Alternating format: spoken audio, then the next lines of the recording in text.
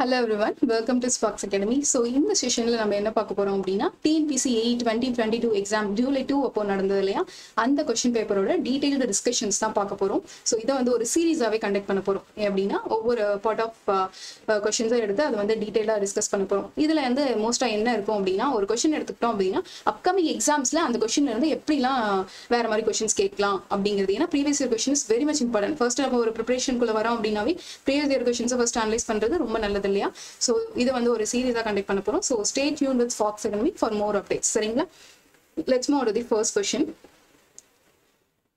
so இது வந்து TNPSC twenty twenty டூக்கான question paper Ramsden type telescope is deal with eyepiece objective lens ஐவேன் object வெயின் அப்படின்னு கொடுத்துருக்காங்க. So Ramsden type வந்து it is mainly deals with eyepiece இது எதுக்காக normal டெலிஸ்கோப்போட ராம்ஸ்டன் டைப் ப்ரிஃபர் பண்ணுறாங்க அப்படின்னா ஆப்டிக்கல் எஃபெக்டை வந்து மெயினாக வந்து இதோட டிஃபெக்ட்ஸ் அவாய்ட் பண்ணுறதுக்காக we have two major defects spherical aberration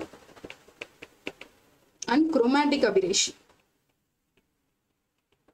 so spherical அபிரேஷன்னா என்ன? ரொமாட்டிக் அபிரேஷன்னா என்ன? அப்படிங்கிற டீடைல்ஸ் மேபி அதில் இருந்து கொஸ்டின்ஸ் கேட்கவும் சான்சஸ் இருக்கு இல்லையா? So spherical aberrations is nothing but it is caused due to refraction refraction நடக்கிறதுனால என்ன ப்ராப்ளம் ஜஸ்ட் ஒரு லென்ஸ் இருக்கு அப்படின்னா அதோட எட்ஜ்ல வந்து ரெஃப்ராக்ஷன் கெப்பாசிட்டி வந்து ரொம்ப அதிகமாக இருக்கும் and compared to middle side so இந்த டிஃபரன்ஸ்னால ஆப்டிக்கல் டிஃபெக்ட் ஏற்பட சான்சஸ் இருக்கு. So this is called spherical aberration இதுவே கொமேட்டிக் அப்ரேஷன் அப்படின்னு சொல்றோம் இல்லையா? This is due to dispersion இதுவுமே இந்த டிஸ்பர்ஷன் அண்ட் ரெஃப்ராக்ஷன் கொஷின் கேட்க சான்சஸ் இருக்கு. குரோமேட்டிக் அப்ரேஷன்னா என்ன? ஸ்பெரிக்கல் அப்ரேஷன்னா என்ன? ஸோ ஒரு கொஷின் வச்சு we covered almost five six questions இல்லையா? ஸோ இது எல்லாமே பார்த்துக்கோங்க. Optical defects what are the optical defects that occurred lens அது மாதிரிலாம் கேட்கலாம்.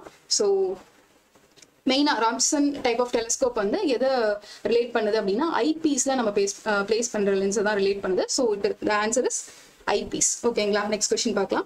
இந்த focal length of objective is twelve centimetre stadia interval and length between the objective and vertical axis of instrument are four mm and eight centimetre ஓகேங்களா so focal லென்த்னா first நம்ம எப்படி represent பண்ணுவோம்? Twelve sorry எஃப்னு represent பண்ணுவோம். So it is twelve centimetre சரிங்களா so stadia interval is nothing but I value கொடுத்துருக்காங்க. Four mm அப்படின்ட்டு. Length between objective and vertical ஆக்சஸ்னு சொல்லியிருக்காங்க இல்லையா? அதாவது distance between objective and vertical axis of the instrument அப்படின்னு சொல்லலாம். அது வந்து எயிட் சென்டிமீட்டர் அப்படின்னு கொடுத்துருக்காங்க. So instrument constants what are the instrument constants அப்படின்னு கேட்டால் we have two types of instrument constants ஒன்று வந்து அடிட்டிவ் கான்ஸ்டன்ட் இன்னொன்று multiplying constant additive constant is represented by f plus d. Multiplying constant is represented by f divided by i. ஓகேங்களா இதுவுமே questions தான். What is additive what is multiplying கொஞ்சம் சிம்பிளான கொஷின்லாம் கேட்கணும் அப்படின்னா they can suppose analytic lens place பண்ணுறாங்க அப்படின்னா அடிட்டிவ் கான்ஸ்டன்ட் இதை எப்படி ரெப்ரசென்ட் பண்ணுவோம்? சி அப்படிங்கிற டேர்ம் யூஸ் பண்ணி ரெப்ரசென்ட் பண்ணுவோம். இட் இஸ் ஜீரோ மல்டிப்ளைங் கான்ஸ்டன்ட்டை வந்து கே அப்படிங்கிற லெட்டர் யூஸ் பண்ணி ரெப்ரசென்ட் பண்ணுவோம். இந்த வேல்யூ இஸ் ஹண்ட்ரட் ஓகேங்களா ஸோ அனாலிட்டிக் கான்ஸ்டன்ட் யூஸ் பண்ணுறோம் அப்படின்னா அதோட கான்ஸ்டன்ட் வேல்யூஸ் தான் கேட்க சான்சஸ் இருக்கு. ஸோ ஒரு கொஸ்டின்லேயே நம்ம எத்தனை கொஸ்டின்ஸ் கவர் பண்ணுறோன்னு பாருங்க. ஓகே ஃபைன் இப்போ அவங்க கேட்டிருக்க இன்ஸ்ட்ருமெண்ட் கான்ஸ்டன்ஸை நம்ம பார்ப்போம். ஃபர்ஸ்ட் வந்து ஆர்டி கான்ஸ்டன்ட் அதாவது சியோட வேல்யூ கண்டுபிடிக்கலாமே. எஃப் பிளஸ் டி ஸோ எஃபோட வேல்யூ என்ன? எனக்கு வந்து டுவெல் சென்டிமீட்டர் டியோட வேல்யூ என்ன? எயிட் சென்டிமீட்டர் ஸோ வேல்யூ எனக்கு டோட்டலாக என்ன வரும்? டுவெண்ட்டி சென்டிமீட்டர்னு வரும். ஸோ இங்கே ரெப்ரசென்ட் பண்ணியிருக்கிறது எல்லாம் மீட்டரில் ரெப்ரசென்ட் பண்ணியிருக்காங்க. So point two metre okay சியோட வேல்யூ கண்டுபிடிச்சாச்சு. நெக்ஸ்ட் மல்டிப்ளைங் கான்ஸ்டன்ட் என்ன? F divide by I so எஃபோட value already they have given twelve centimetre and ஐயோட வேல்யூ ஃபோர் எம்எம்ல கொடுத்துருக்காங்க. ஸோ அதை நான் சென்டிமீட்டர்ல மாற்றுறேன் அப்படிங்கும்போது பாயிண்ட் ஃபோர் சென்டிமீட்டர் அப்படின்னு வருமா? ஸோ இதை கேன்சல் பண்ணேன் அப்படின்னா ஐ கேன் கெட் தேர்ட்டி இப்போ பாருங்க. சென்டிமீட்டர் சென்டிமீட்டர் கேன்சல் ஆகிட்டு எனக்கு யூனிட் எதுவும் வராது. Be careful about the unit okay fine so answer for this question is thirty and point two metre அதுவுமே வந்து அவங்க எப்படி ரெப்ரசென்ட் பண்ணியிருக்காங்க? சப்போஸ் வந்து அடிட்டிவ் அண்ட் மல்டிப்ளையும் கேட்டிருக்காங்க அப்படின்னா அதுக்கேற்ற மாதிரி தான் நம்ம டிக் பண்ணணும். மாற்றி கொடுக்க சான்சஸ் இருக்குது அவசரத்தில் வந்து நம்ம ரெண்டு ஆன்சர் கரெக்டாக வந்திருக்கா? அதை மட்டும் பார்த்து டிக் பண்ணணும் so be careful about that next question பார்க்கலாம். The sum of the three angles of a spherical triangle. Spherical triangle அப்படின்னாவே என்னது? நார்மலாக பிளைன் ட்ரையாங்கிள் பார்த்துருப்போம். அதோட ஆங்கிள்லாம் ஜஸ்ட் ஒன் எயிட்டி டிகிரி இருக்கும். மூணையும் ஆட் பண்ணும்போது எனக்கு ஒன் எயிட்டி டிகிரி இருக்கும். இதுவே ஒரு ஸ்பெராய்ட் நம்ம கன்சிடர் பண்றோம் அப்படின்னா அதுல எனக்கு ஒரு ஸ்பெரிக்கல் ட்ரையாங்கிள் ஃபார்ம் ஆகுது. இதுதான். ஓகேங்களா இதோட ஆங்கிள் கேட்குறாங்க சப்போஸ் ஆல்ஃபா பீட்டா காமான்னு வச்சுட்டு what is the summation of this spherical triangle இப்போ alpha plus beta plus gamma இதை எனக்கு ஆட் பண்ணும்போது என்ன வேல்யூ வரும்? ஒன் எயிட்டி டிகிரி வருமா? லெஸ் தென் ஒன் எயிட்டியா கிரேட்டர் தென் ஒன் எயிட்டியா அது மாதிரி கேட்டிருக்காங்க. It always greater than one eighty it will be always greater than one eighty sometimes வந்து வாட் இஸ் ஸ்பெரிக்கல் எக்ஸஸ் அப்படின்னும் கேட்க சான்சஸ் இருக்கு. ஸ்பெரிக்கல் எக்ஸஸ் இது வந்து இ அப்படிங்கிற டேர்மை ரெப்ரசென்ட் பண்ணுவோம் so it is nothing but alpha plus beta plus gamma minus one eighty degree ஏன் அப்படின்னா ஒன் எயிட்டி வந்து பிளைன் ட்ரையாங்கிளோட டோட்டல் ஆங்கிள் நமக்கு தெரியும். ஸ்பெரிக்கல் தான் it is always greater than one eighty degree அப்படிங்கிறத பார்த்தோம் இல்லையா? ஸோ டோட்டல் ஆங்கிள் வந்து ஒன் எயிட்டி மைனஸ் பண்ணா எனக்கு வந்து எக்ஸஸாக ஒரு டிகிரி கிடைக்குது இல்லையா? அதுதான் வந்து ஸ்பெரிக்கல் எக்ஸஸ் அப்படிங்கிற டேர்ம் மூலமாக ரெப்ரசென்ட் பண்ணுவாங்க. ஸோ பி uh, இதையுமே தெரிஞ்சு வச்சுக்கோங்க. ஓகே நெக்ஸ்ட் ஸோ இதுக்கு என்ன ஆன்சர் வரும்? Is always more than one eighty degree அடுத்து triangle set to be well conditioned when it's angle should lie between so அந்த ஆங்கிள் வந்து எந்த டிகிரிலேருந்து எந்த டிகிரிக்குள்ளே இருந்தது அப்படின்னா அது வந்து வெல் கண்டிஷன் ட்ரையாங்கிள் ரொம்ப சிம்பிளான கொஷின் தான் கரெக்டாக ஸோ யூஸ்வலாக வந்து நம்ம சர்விங் ஒரு பிளாட்ல வந்து பண்றோம் அப்படின்னா பேஸ் லைன் வந்து கன்ஸ்ட்ரக்ட் பண்ணுவோம். ஃபர்ஸ்ட் ரொம்ப அக்யூரேட்டாக இருக்கணும். பிகாஸ் இதுதான் வந்து ஒரு starting initial stage of survey அப்படின்னு சொல்லலாம். நெக்ஸ்ட் அதுல இருந்து வந்து we construct we form more control points then tie lines join பண்ணுவோம். செக் லைன்ஸ் கொடுப்போம். அது மாதிரி நிறைய லைன்ஸ் வந்து கன்ஸ்ட்ரக்ட் பண்ணுவோம். அது மாதிரி அதை ஃபாலோ பண்ணிட்டே வந்து ஏரியா கேல்குலேட் பண்ணிட்டு போவோம். இந்த ஷேப்ஸ் வந்து என்ன பேட்டர்ன்ல ஃபாலோ பண்ணுவோம் அப்படின்னா ட்ரையாங்கிள் ட்ரையாங்கிளாக ஸ்ப்ளிட் பண்ணி ஃபாலோ பண்ணுவோம். ஸோ அந்த triangle it should be always well condition ட்ரையாங்கிளாக இருக்கணும். அதோட angle should not be less than 30 degree okay not be and should not be greater than 180 degree 120 degree ஓகேங்களா 30 and 120 is the right answer அந்த less than and greater than அதையுமே கரெக்டா பார்த்துக்கோங்க சரியா next the suitable method for setting out curve on a rough ground is so curve செட்டிங்க்கு வந்து நம்ம நிறைய methods வந்து பார்த்துருப்போம். லீனியர் மெத்தட்ஸ் ஆங்குலர் மெத்தட்ஸ் அந்த மாதிரி நிறைய மெத்தட்ஸ் இருக்கு இல்லையா? So linear method is more common அதில் நமக்கு அதுலேருந்து கொஸ்டின்ஸ் கேட்கலாம். What are the linear methods that is follow for setting out curves so இதுக்கு ஆன்சர் பார்க்கறதுக்கு முன்னாடி என்னென்ன மெத்தட்ஸ் வந்து யூஸ் பண்ணி நம்ம கர்வ் வந்து செட் பண்ணுறோம் அப்படிங்கிறத பார்த்தோம். ஃபர்ஸ்ட் வந்து taking offsets from long chords ரொம்ப important then offsets from chord produced long chord அப்படிங்கிறது வேற கார்டு நம்ம ப்ரொடியூஸ் பண்றோம் இல்லையா? அது வேற. ஏன்னா சப் கார்ட்ஸ் நார்மல் கார்ட்ஸ் அது மாதிரி நிறைய கார்ட்ஸ் இருக்கு. Long chord is the only thing ரொம்ப லென்த்ல வந்து எனக்கு மேஜர் ரோல் ப்ளே பண்ணும். சரிங்களா? அதுக்கு அடுத்து சக்சசிவ்லி பைசெக்டிங் தி ஆர்க் அதாவது ஆர்க்ஸ் மூலமா வந்து கர்வை கன்ஸ்ட்ரக்ட் பண்றது. So bisecting the arcs and offsets from the tangents. இந்த நாலு மெத்தட் வந்து லீனியர் மெத்தட்ஸில் வரும். அதாவது இப்படி கர்வ் இருக்கு. டேஞ்சன்ஸ் இப்படி ட்ரா பண்றோம் அப்படின்னா டேஞ்சன்ட்ல இருந்து எடுத்து நான் கர்வை டிசைன் பண்றேன் அப்படின்னா that is offset from tangent இதுவே கார்ட்ல இருந்து ஆஃப்செட் எடுத்து நான் கர்வை டிசைன் பண்றேன் அப்படின்னா that is offset from the long chord ஓகேங்களா இப்போ புரியுதுங்களா? ஸோ இங்கே வந்து ரஃப் கிரவுண்டுக்கு மெயினாக நம்ம எந்த மெத்தட் யூஸ் பண்ணுவோம் அப்படிங்கிற மாதிரி கேட்டிருக்காங்க. It is nothing with the tacheometric method இதே Rankine is also more precise and two theodolite one theodolite methods இதுவுமே வந்து கவ் கன்ஸ்ட்ரக்ட் பண்றதுக்கு நம்ம யூஸ் பண்ணுவோம். Okay next question the temperature correction pull correction always have positive always have opposite sign always have same sign may have same sign always have positive sign.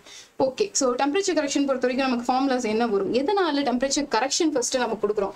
Maybe நான் chain வந்து um, produce பண்ண manufacture பண்ணும்போது ஒரு temperature standard டெம்பரேச்சரில் manufacture பண்ணிருக்கலாம். ஆனால் நான் ஃபீல்டில் யூஸ் பண்ணும்போது அந்த டெம்பரேச்சர் வேரியேஷன்ஸ் இருக்க சான்சஸ் இருக்கு. ஸோ அதனால ஏதாவது லென்த் வேரியேஷன்ஸ் நடந்து வேல்யூ நான் மெஷர் பண்ண வேல்யூவில் எரர் ஏற்பட சான்ஸ் இருக்கு. அதனால நான் கரெக்ஷன் பண்ணுறேன் இதுதான் மேஜரா டெம்பரேச்சரா இருக்கட்டும் புல்லா இருக்கட்டும் ஸ்டாண்டர்டை விட நம்ம கிரவுண்ட்ல மெஷர் பண்ணும்போது இருக்கிற கண்டிஷன் வந்து வேற மாறுறதுனால இந்த கரெக்ஷன்ஸ்லாம் நம்ம கொடுக்குறோம். ஓகேவா ஸோ டெம்பரேச்சர் கரெக்ஷன்ஸ் பொறுத்த வரைக்கும் it is nothing but corrections தான் இருக்கும் so temperature measure temperature standard alpha into L so அல்ஃபாங்கிறது என்னது? கோஃபிஷியன்ட் ஆஃப் தெர்மல் எக்ஸ்பென்ஷன் சொல்லுவோம். So L S the nothing but the length of the tape or length of the chain so எனக்கு வந்து measure பண்ணும்போது இருந்த டெம்பரேச்சரும் அங்கே standard temperature அப்படின்னு சொல்லியிருப்போம் இல்லையா மேனுஃபேக்சர் பண்ணும்போது அதுவுமே சேமா இருக்கு அப்படிங்கும் போது கரெக்ஷன்ஸ் கொடுக்க தேவையில்ல. சப்போஸ் மெஷர்டு டெம்பரேச்சர் வந்து ரொம்ப அதிகமாக இருக்கு அப்படின்னா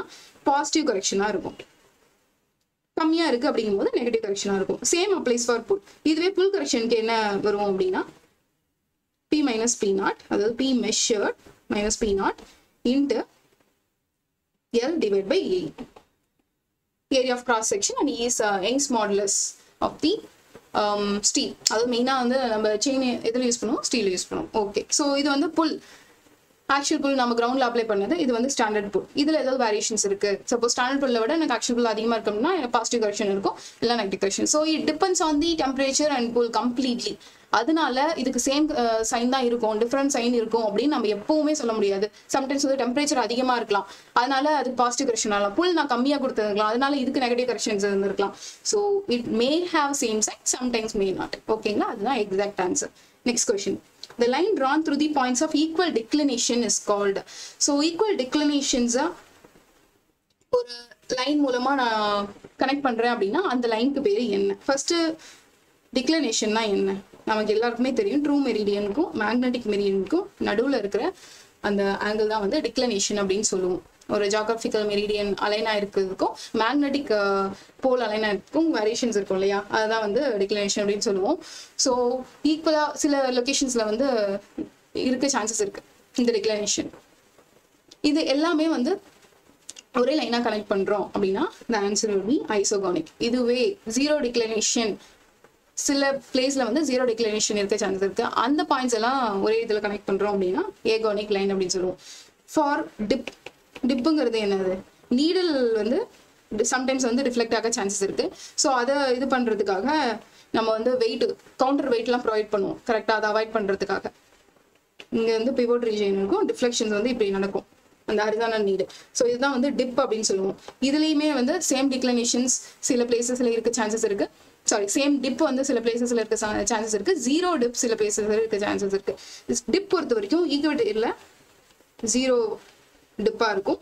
இதுவே போல் ரீஜியனில் நைன்டி டிகிரி இருக்கும். அதாவது டிஃப்ளெக்ஷன்ஸ் ஓகேவா ஃபைன் இப்போ சேம் டிப்பா இருக்கு அப்படின்னா that is called isoclinic line different டிப்பா இருக்கு.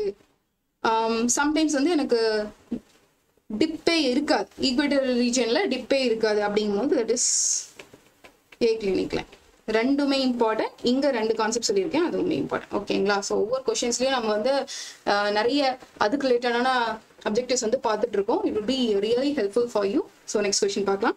The standard size of a plane table is so standard size கேட்டிருக்காங்க. நமக்கு வந்து தெரியும். மீடியம் சைஸ் இருக்கு ஸ்மால் சைஸ் இருக்கு லார்ஜ் சைஸ் இருக்கு அப்படின்ட்டு. Large is nothing but standard size லார்ஜுமே standard சைஸுமே ஒன்று தான் இது தவிர்த்து வேறு எப்படி இது கொஷின் கேட்கலாம் அப்படின்னா ஜான்சன் பிளேன் டேபிள் சைஸ் அப்படின்னு கேட்கலாம். அதுலேயுமே நமக்கு வந்து ஜான்சன் டிராவல்ஸ் கோஸ்டல் சர்வே இது மாதிரி different types of plane table இருக்கு. கோஸ்டல் சர்வே பிளேன் டேபிள்லாம் வந்து எங்க அதிகமா யூஸ் பண்ணுவோம் அப்படின்னா எனக்கு அக்யூரசி அதிகமா வேணும் அப்படிங்கிற இடத்துல வந்து நான் coastal survey plane table use பண்ணுவேன். ஃபைன் ஸோ இங்க அவங்க கேட்டுக்கிறது ஸ்டாண்டர்ட் இது தவிர்த்து லார்ஜ்னு கேட்டாலும் சரி ஜான்சன் பிளேட் சைஸ் அப்படின்னு கேட்டாலும் சரி நமக்கு வந்து ஆன்சர் எப்பவுமே seventy five centimetre cross sixty centimetre தான் ஓகேங்களா ஸோ பிளேன் டேபிள் பொறுத்த வரைக்கும் இந்த இன்ஸ்ட்ருமெண்ட்ஸ்லேருந்து இருந்து நிறைய கொஷின்ஸ் வந்து வரதுக்கு சான்சஸ் இருக்கு. லெவலிங்க்கு நீங்க என்ன யூஸ் பண்ணுவீங்க? சென்டரிங்க்கு என்ன யூஸ் பண்ணுவீங்க? லெவலிங்னா நம்ம ஸ்பிரிட் லெவல் யூஸ் பண்ணுவோம். சென்டரிங் அப்படின்னா இந்த யூ ஆர்ம் ப்ரெசென்ட் ஆயிருக்கு ப்ளம் ஃபோர்க் இருக்குங்களா அது யூஸ் பண்ணுவோம். தென் ஓரியன்டேஷனுக்கு uh, ரெண்டு மெத்தட்ஸ் ஆஃப் ஓரியன்டேஷன் பண்ணுவோம். ஒன்று வந்து மேக்னெட்டிக் ட்ரஃப் காம்பஸ் யூஸ் பண்ணி பண்ணுவோம். இன்னொன்று பேக் சைடிங் யூஸ் பண்ணி பண்ணுவோம். இன்ஸ்ட்ருமெண்ட் பேஸ் பண்ணி பார்க்கறதுனால ட்ரஃப் காம்பஸ் யூஸ் பண்ணி ஓரியன்டேஷன் பண்ணுவோம்.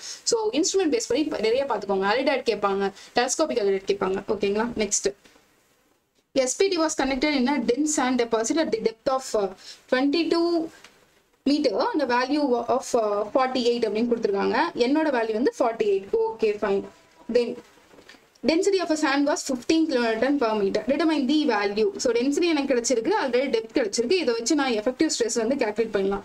ஏன் அப்படின்னா இப்போ எனக்கு கரெக்டட் வேல்யூ வேணும்னா N nought into three fifty divide by effective stress plus seventy போட்டேன் அப்படின்னா எனக்கு வேல்யூ கிடைக்கும். ஸோ ஃபர்ஸ்ட் வந்து நான் ஸ்ட்ரெஸ் கேல்குலேட் பண்ணவா? அதுக்கு என்ன பண்ணுவோம்? காமா இன்ட்டு டி போடுவோம் யூஸ்வலாக காமாவோட வேல்யூ என்ன கொடுத்துருக்காங்க அவங்க? ஃபிஃப்டீன் கொடுத்துருக்காங்க. இன்ட்டு டுவெண்ட்டி டூ போட்டோம் அப்படின்னா we can get the answer around என்ன வரும் fifteen into twenty two three thirty right so இது கூட செவன்ட்டி எனக்கு ஆட் பண்ணுறேன் ஏன்னா எனக்கு டினாமினேட்டரில் செவன்ட்டி இருக்கு. ஸோ செவன்ட்டி ஆட் பண்ணும்போது நமக்கு ஃபோர் ஹண்ட்ரட் வரும். ஸோ என்னோட வேல்யூ என்ன கொடுத்துருக்காங்க? Forty eight into three fifty divide by four hundred okay இதை நான் கேல்குலேட் பண்ணேன் அப்படின்னா the answer would be around uh, 42 ஓகேங்களா? ஸோ செக் பண்ணிக்கோங்க. Answer for this question is forty two இப்படி தான் சால்வ் பண்ணும். இது தவிர்த்து இதுல இருந்து எப்படி கொஸ்டின்ஸ் கேட்கலாம் அப்படின்னா டைரக்ட் ஆன்சர் கரெக்ஷன் கேட்கலாம். Very very important question n is equal to 15 plus half into n1 by 15 இந்த ஈக்குவேஷன் அப்படியே கேட்கலாம். இல்ல அப்படின்னா n1 ஓட வேல்யூ கொடுத்துட்டு அதுல இருந்து கொஸ்டின் கேட்கலாம். ஓகேங்களா? ஃபைன் என் என்னது nothing but the overburden pressure correction ஓகேங்களா ஓவர் பர்டன் ப்ரெஷர் கரெக்ஷன் எனக்கு இவ்வளோப்பா? What is the dilatancy correction அப்படின்னு கேட்டாங்கன்னா ஜஸ்ட் இந்த ஃபிஃப்டீன் ப்ளஸ் ஹாஃப் வந்துட்டு N one minus fifteen value வச்சு நம்ம போடலாம் அதுக்கு அடுத்து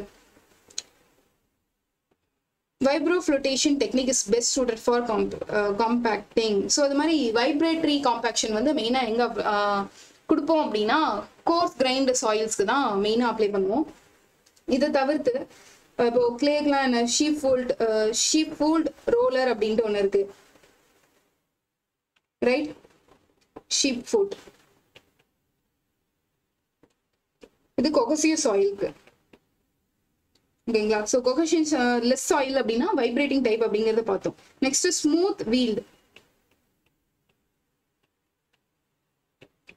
crushed rocks